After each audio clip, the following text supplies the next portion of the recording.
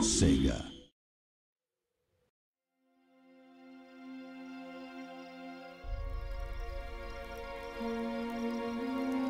Ты мой сын. Я сделала все возможное, чтобы защитить тебя.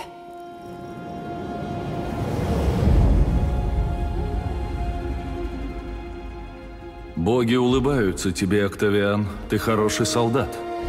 Я политик. Политики нам больше не нужны. В Сенате не звучат речи, изменяющие мир. Рим умирает. Как думаешь, почему Цезарь тебе благоволил? Я был верен ему.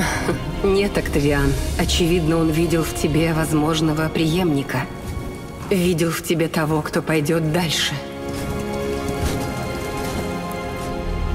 Антонию верить нельзя, его сердце отдано Египту. Мы должны признать, гражданская война неизбежна. И как же кровопролитие спасет римский народ? Тебе не нужно его спасать. Тебе нужно его возглавить. Всем трудно, когда приходит их час. Я не Цезарь, и у меня нет его власти. Народ любил его, а значит, полюбит и тебя. Не уподобляйся смертным. Выйди за пределы человеческих амбиций и делай то, чего никто не делал.